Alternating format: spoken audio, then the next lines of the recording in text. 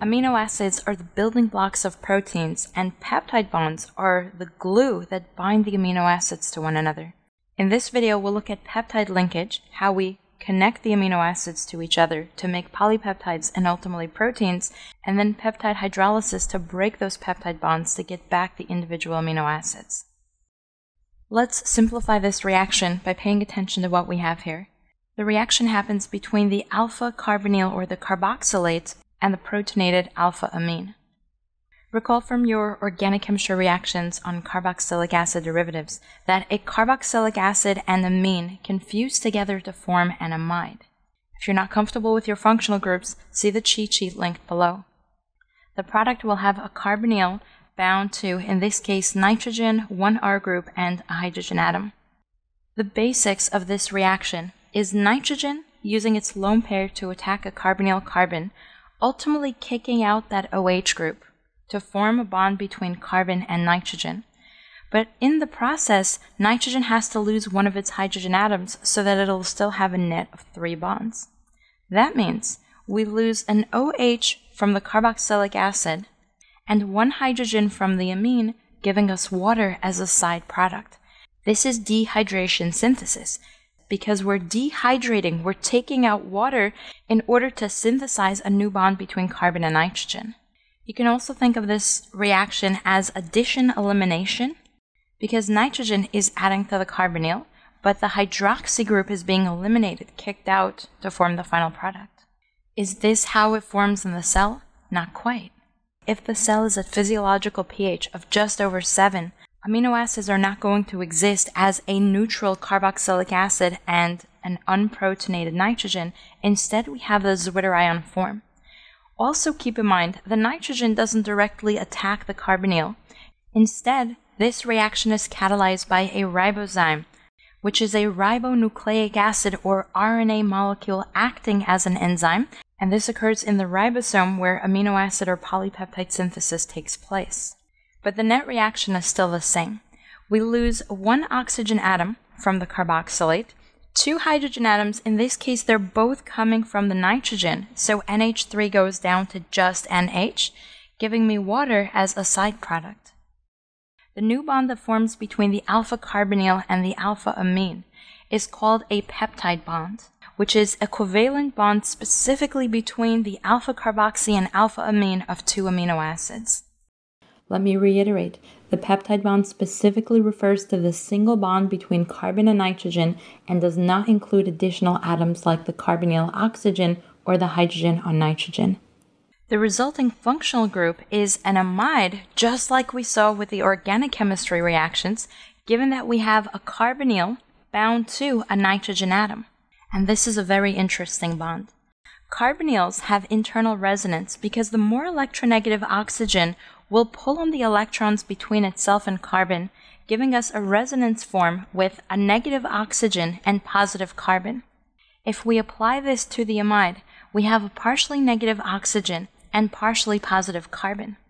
The alpha amine, before forming a bond, was very basic and existed as the conjugate acid protonated form, but the amide is less basic and therefore has its lone electrons. Why is it less basic?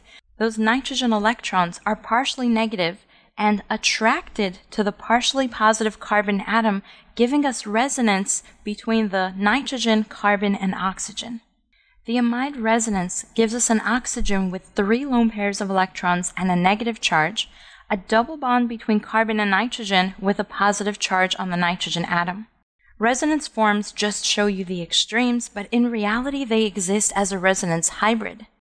The resonance hybrid has a single bond between carbon to oxygen and nitrogen, with the electrons constantly moving back and forth between the nitrogen and the oxygen, giving both of them partial charges and both of them partial double bond character. And this is what makes the peptide bond so interesting. The carbonyl carbon is definitely sp2 hybridized, as is the oxygen. But the nitrogen, even though it appears to be sp3, has to adopt sp2 hybridization in order to be able to resonate with the carbonyl. If you remember your hybridization, You'll recall that sp3 hybrids are tetrahedral with a 109.5 degree bond angle, and sp2 hybrids are trigonal planar with a 120 degree bond angle.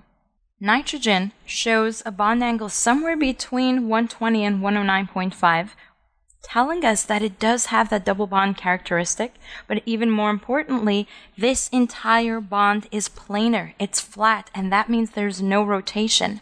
Only a true sp3 bond can have free rotation, but the amide in the amino acid does not have free rotation. We do have rotation happening away from the amide. This bond can rotate and this bond can rotate, but this bond, the peptide bond between the two amino acids, cannot rotate. And this will be critical for the ultimate three dimensional protein structure.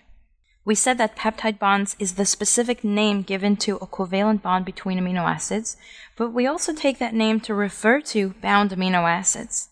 A dipeptide is simply two amino acids bound to each other or two amino acid residues, which is the name you give to amino acids when they are bound in a chain. A tripeptide is three amino acids. Oligopeptides are not as common, and this refers to a short chain of amino acids. Oligopeptide reminds me of oligarchy, which is rulership by a few. My 12th grade teacher will be very proud. And finally, we have polypeptides, where poly means many amino acid residues. This can range from dozens to hundreds or even thousands of bound amino acids. When you're drawing a short chain peptide, it's easy to draw it all out. But the longer the chain gets, the more tedious it is, the more honestly annoying it is to draw it all out. And that's where line structure will come in very, very handy. Before looking at the drawing trick, keep in mind that amino acid chains are always written N to C. Notice that we started with the N terminus, that's the nitrogen end of the amino acid on the left, and we end with the carboxy terminus, the alpha carboxy, on the right. What helps me remember it is the word amino acid itself. Amino acid has a nitrogen before the carbon. Nitrogen is on the left and carbon is on the right, N to C terminus. Here's the trick. The amino acid backbone has three atoms nitrogen with stuff bound to it, carbon with stuff bound to it, and carbon with an oxygen double bound. It's NCCNCC, which you could draw out, or you could do something like this. Start with a nitrogen atom and repeat the pattern up, down, up. Draw another nitrogen. We stopped at up, so we go down, up, down. Nitrogen. Up, down, up. Nitrogen down, up, down, nitrogen, and you have to end with a carbon, so up, down, up, and we'll stop right there. Then we fill it in. The nitrogen is attached to an alpha carbon, so the one directly near it is the alpha. It has an invisible hydrogen, which we're not going to draw, but we can simply add in the R group. And notice that it repeats that pattern of up, down, up, leaving us with the alpha carbon, which we give a carbonyl. Whenever you have to draw out something tedious, if you can find a way to turn your brain off and systematically add things in, it goes so much faster and you minimize mistakes. Don't forget the nitrogens have hydrogen atoms. The N terminus has an NH3 plus at physiological conditions. Every nitrogen in the backbone gets one hydrogen atom. And of course, we have the carboxy terminus, which is an O minus, three lone pairs and a negative charge. Best of all, we started with nitrogen, this is considered the N terminus, and we end with a carboxy, giving us the C terminus. We looked at how to create that peptide linkage, how to bind amino acids together. Now we have to look at how to break them apart. The shortcut is very simple. Identify the amide, which is the bond between two different amino acids, and slice it right down the middle. Add in a water molecule, but first determine if you want to do this correctly, meaning in Zwitterion form, or the simplified form where you show a neutral carboxylic acid and a neutral amine. Let's do this in Zwitterion form. We simply add water as an oxygen on the carboxy side and two hydrogen atoms on the nitrogen side. Then we redraw this exactly as we see it. Start by drawing what you see, then add in the water. We have oxygen, for the carboxy with three lone pairs and a negative charge, three hydrogen atoms on the nitrogen giving us a positive charge, and there we have it. If you wanted to draw this in non-Zwitterion form, simply take away one of the hydrogens on the nitrogen, making it NH2, and of course take away the charge, put a hydrogen on the carboxylic acid, same thing to the other side, but the trick is exactly the same. But this is not a simple reaction. In order to break an amide, you need very strong conditions, either acidic or basic.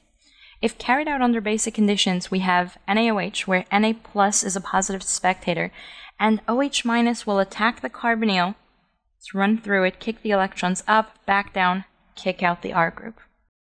The problem with this reaction is that a negative nitrogen is a stronger base and more reactive than a negative oxygen, making this a slow and very unhappy reaction. Of course, nitrogen can grab hydrogen from the carboxylic acid, but it's still a slow reaction. This reaction can also be carried out under acidic conditions, which will cause the nitrogen to be protonated, turning it into a much better leaving group. In this case, it's a water molecule that attacks the carbonyl and ultimately kicks out a neutral, happy nitrogen group. But once again, this is a slow reaction. Both acidic and basic conditions to cleave an amide are not very quick reactions, and biological systems can't wait around for a slow reaction to take place. How do biological systems speed up this reaction? By using a protease, where ase gives you a clue that it's an enzyme that has something to do with proteins. A protease is a proteolytic protein breaking enzyme that will break that peptide bond at a much, much faster rate. This happens in standard cell reactions where you're modifying proteins, and this also happens in the digestive system after you eat a meal that contains proteins. But that's a topic for another day. Right now, remember, amino acids are critical to doing well on the MCAT. If you haven't mastered this topic yet, go back to my website where you'll find this entire video series covering amino acid names, structures, chirality, pH, charge, isoelectric point, and so much more. You can find it along with my amino acid practice quiz and cheat sheet on my website, leah4sci.com slash amino acids.